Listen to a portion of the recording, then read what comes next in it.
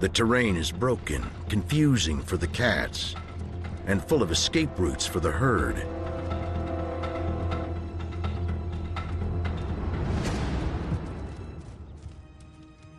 In the chase, a bull has become injured.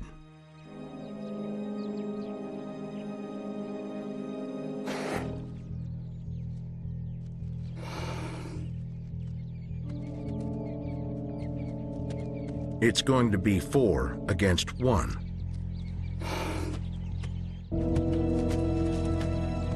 The four young cheetahs have the advantage. But they don't know where to begin with such a big prey.